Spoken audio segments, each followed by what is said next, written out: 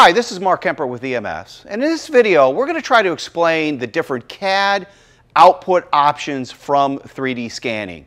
Now, we've been doing 3D scanning, CAD modeling, and inspection for over 22 years.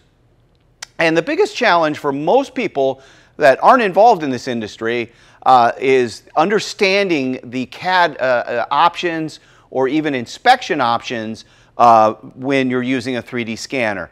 So whether you're going to buy your own scanner and do this, or you're going to you know uh, pay EMS or somebody to do work for you, uh, it's really important you understand what your options are.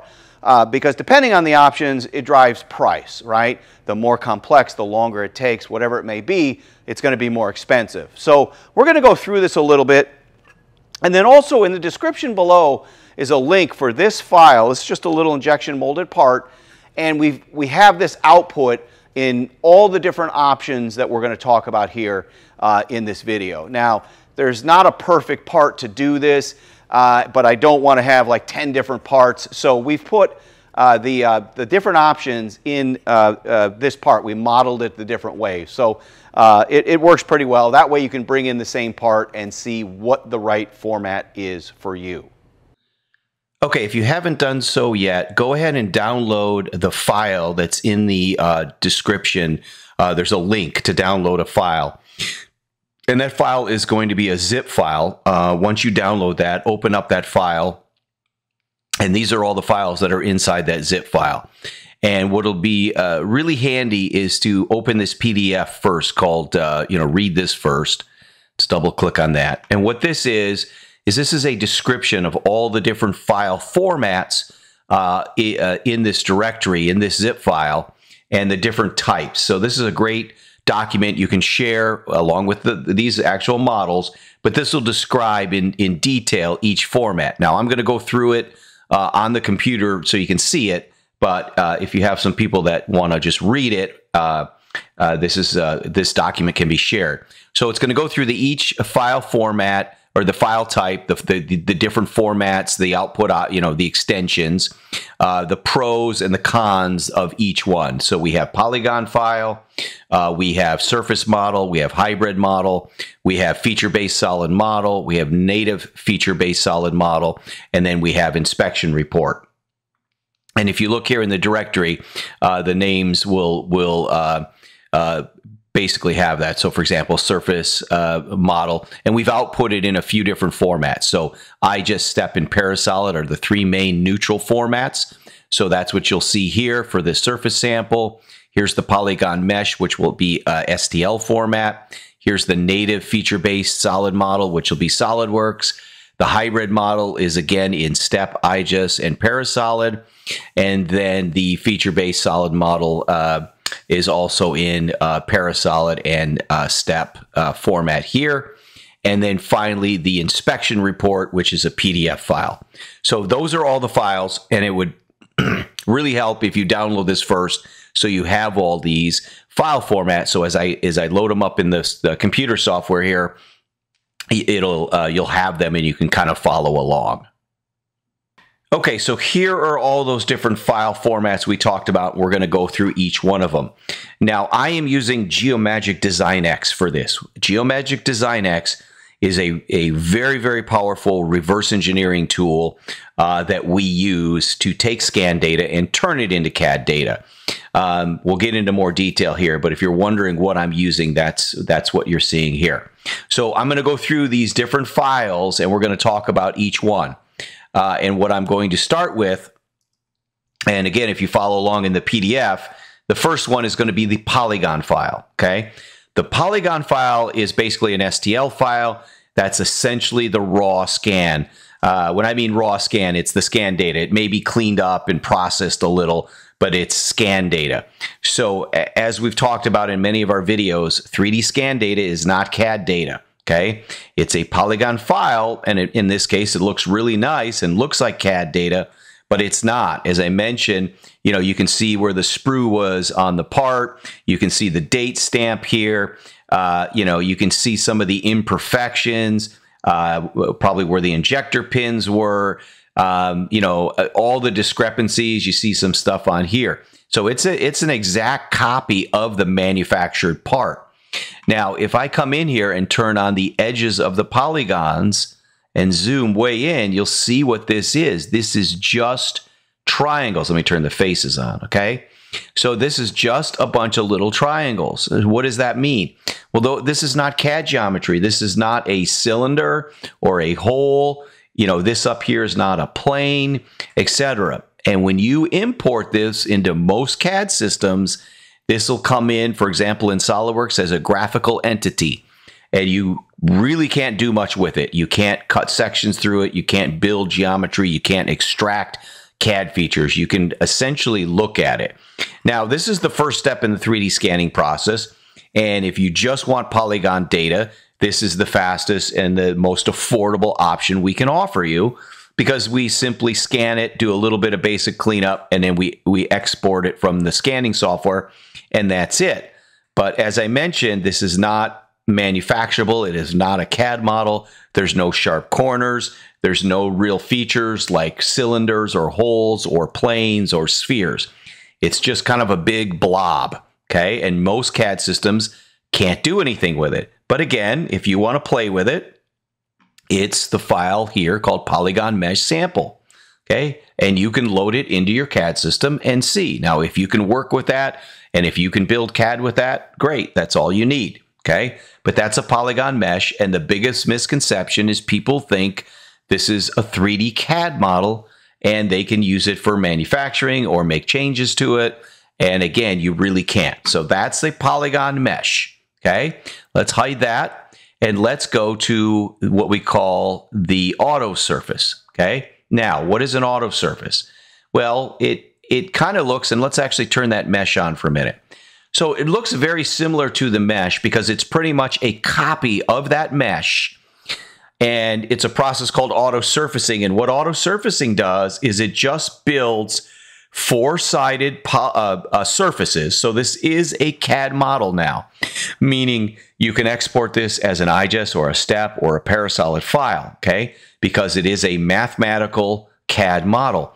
The problem is it's an exact replica of this model. So you still see the sprue and the timestamp now you'll notice they look a little bit washed out, and that's because during this process of surfacing, um, it cannot really create sharp corners, so things get a little bit smoothed out. Okay, so technically this is a CAD model, but it's not a very smart CAD model because it's just a little four-sided patches. Okay, so you can bring this in your CAD system, but it's you know it's not it's probably you know it's an exact replica of the manufactured part and you're probably going to have trouble editing this in your CAD system because again there's no planes there's no cylinders there's no holes there's no real features there's no sketches attached to this okay so is it better than just a uh, the raw scan data yes could you use this now to cut sections and rebuild a sketch driven feature model? Yes, but you're going to have to do all that work. Okay.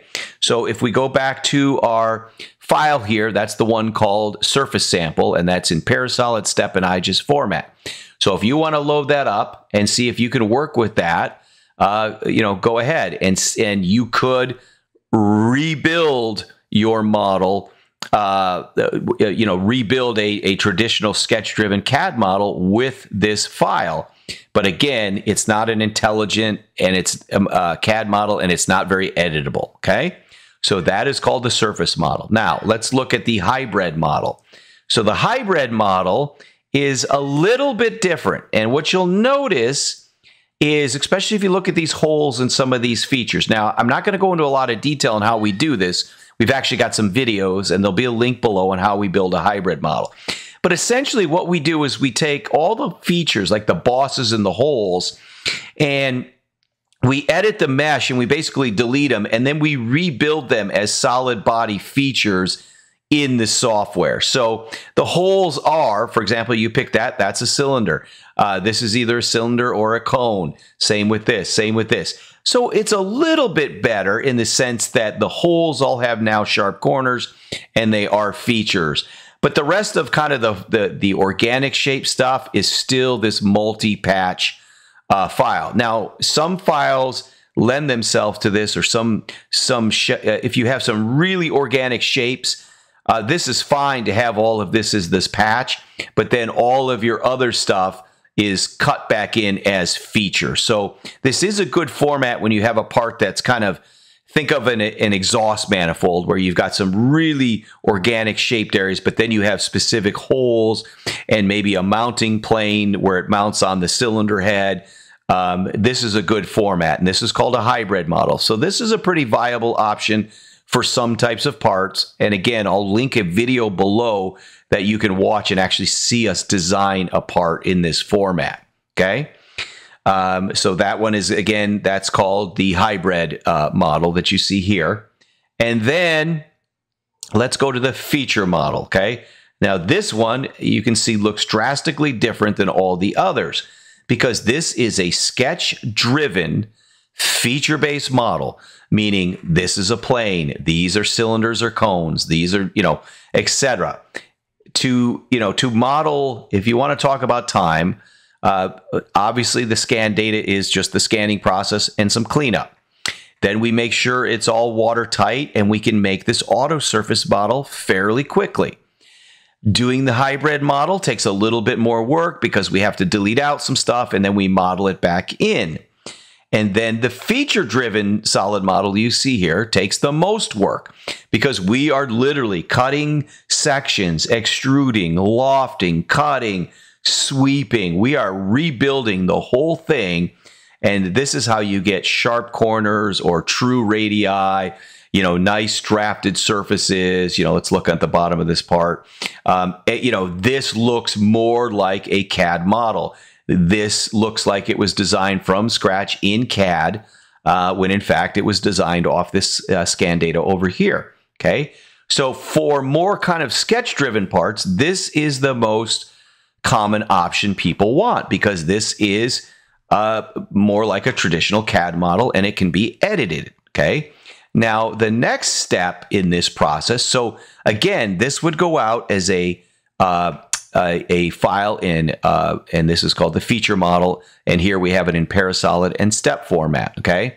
And this would go out uh, in that format, and people are very familiar with that, and they could load this in and work with it. So, this is the most common option for kind of sketch driven, more mechanical parts. Okay. Now, the next process, let's go back to our PDF for a second. Oops. Uh, the next process, let me bring that PDF back up. Uh, from that feature driven model is we can do a native uh, file. Now, there are many formats, including Creo, uh, Siemens NX, SolidWorks, Solid Edge, Inventor, and some others. We can do SolidWorks. Um, so, what does that mean? Well, what it means is there are some features uh, in Design X that allow us to export. Here are the formats, okay? And this actually rebuilds the CAD model with the history tree. So if you have SolidWorks or you can load a SolidWorks file, here is the feature based uh, model right here called native feature based sample SolidWorks. Okay. So you see it's a, so not only is it a native SolidWorks file, but it has the history tree. The history tree contains all the sketches, all the features, everything. And it means it's fully editable, which means you can roll back through this model. So let's say you want to change the size of this hole here. You could roll back in the tree to that sketch and change it. Now, if you go with the neutral one, the, the standard uh, step or IGES or Parasolid format, it doesn't mean you can't edit it, but it's a little bit different process that will vary with your CAD system, okay? So the neutral version of this file, step or IGES or Parasolid, um, is you know the next next most expensive uh, uh, model uh, or output type, and the native, meaning the SolidWorks, is even more expensive because we have to run this live transfer. Not everything goes through automatic. There's a little bit of work we need to do to get it in that native SolidWorks format. Okay, so let's just kind of review again here. Here's our our we're showing four, but there's actually five. So raw scan data is in a polygon format like STL auto surfaced model here, okay, is essentially a copy of this, but it is now all NURB surfaces. We can output this in Parasolid, IGES, or STEP. but it's probably going to be difficult to edit in your CAD system. You'll have to essentially still rebuild it. The next uh, one up is the hybrid, which is still auto surfaced, but yet some of the features like holes and bosses and certain shapes are modeled as uh, you know solid entities like you see here. And then the next one is the feature driven solid model, sketch driven feature based solid model in either a neutral format like IGES Step Parasolid or a native format. And we offer SolidWorks because to do the others, you have to have those systems and, and we don't. So the one we can offer is SolidWorks. And then the final format, which is really a little bit different, that is an inspection model, okay? And that's where we're doing inspection. So that's usually a little bit different application. That's where someone is providing parts and a CAD file to us, and we are 3D scanning it and inspecting it, and we are looking. So, for example, here's a color map. Now, let me show you what the full blown inspection report would look like.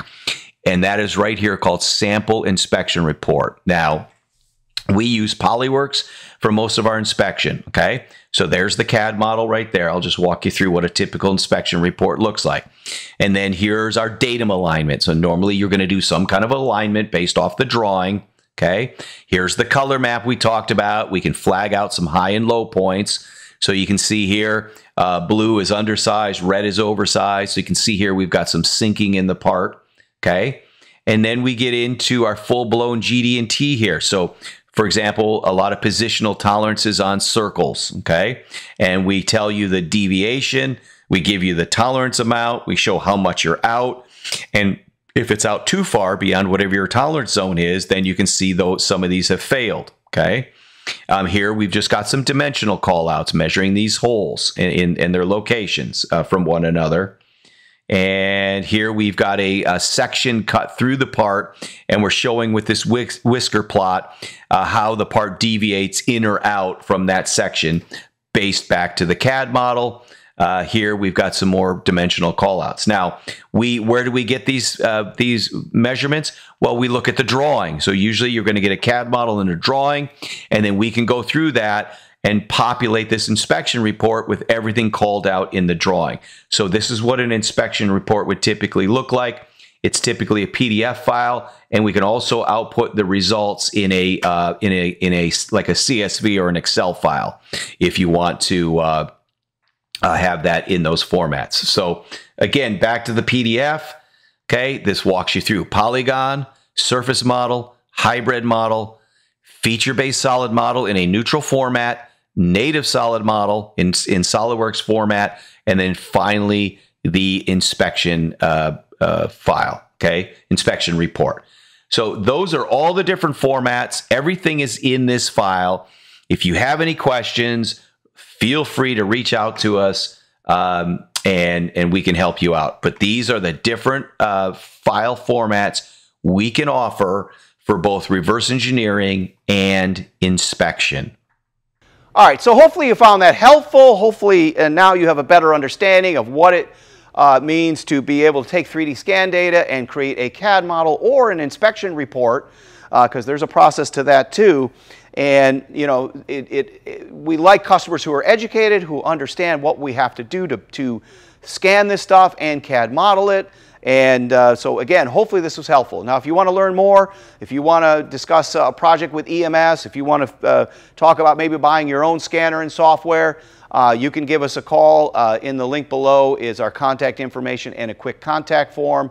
But you can call us at 877 845 2700, or you can shoot us an email at info at ems3d.com.